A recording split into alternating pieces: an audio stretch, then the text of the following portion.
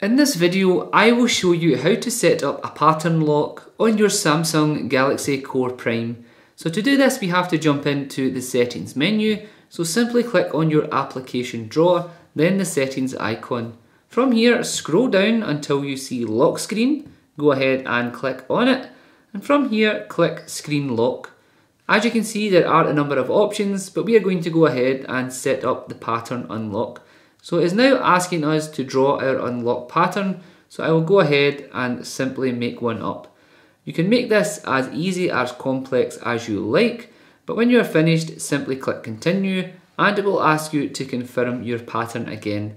Click confirm, then it will then ask you to set up a backup pin code in case you go ahead and forget your actual pattern. So go ahead and do that and confirm it again and it will then ask you what kind of notifications you would like displayed.